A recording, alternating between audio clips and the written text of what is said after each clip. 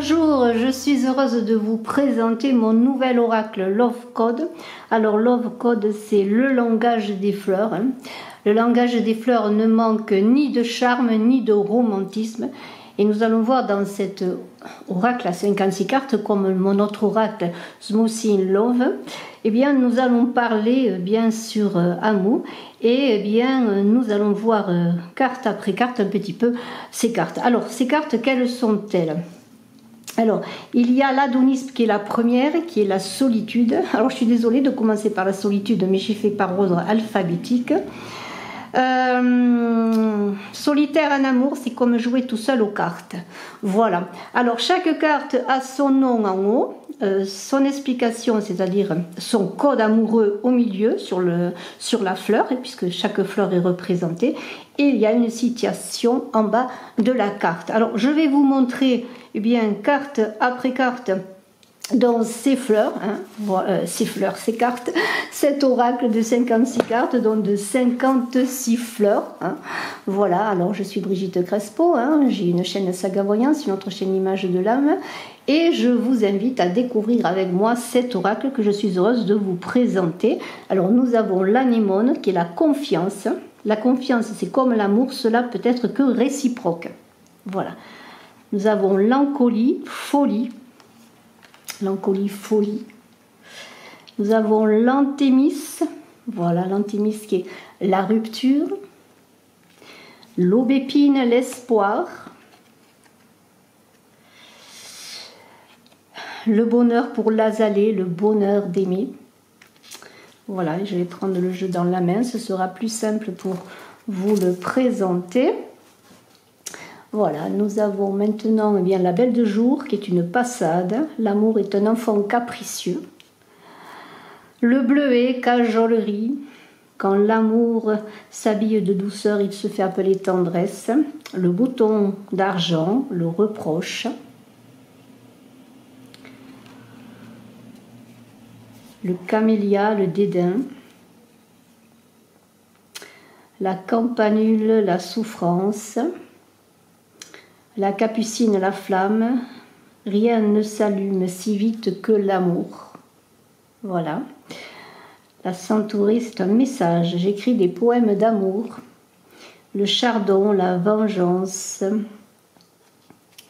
Le chrysanthème, la constance. La clématite, l'attachement le coquelicot, la consolation, le bouquet de la mariée. Alors le bouquet de la mariée, c'est un joker dans le jeu, hein, lorsque vous tirez euh, vos cartes hein, avec intuition, hein, une ou plusieurs cartes.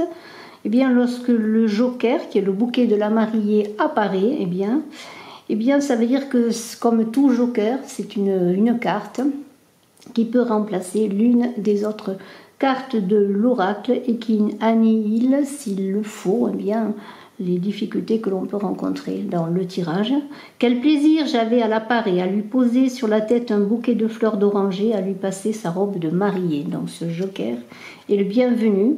Le dahlia, reconnaissance. L'amour ne peut être égoïste, c'est la reconnaissance infinie. Le fristillaire, c'est la puissance. Très belle fleur. Le fuchsia, désir ardent, magnifique. Plus l'amour vient tard, plus il est ardent. Le gardénia, c'est l'amour caché. Le géranium, les sentiments. L'amour, c'est l'harmonie des sentiments. La giroflée, l'élégance. Le, le glaïeul, qui est un défi. L'amour emporte tous les obstacles. L'héliotrope, enivrement d'amour, l'hortensia, la jalousie, le ou, la prudence, l'impatience, l'impatience. Quand l'amour tarde, il monte tonner. Et oui, l'iris, un festin festif, deux amoureux joignent leur bouche en festin festif. Jacinthe, la grâce, le jasmin, la sensualité,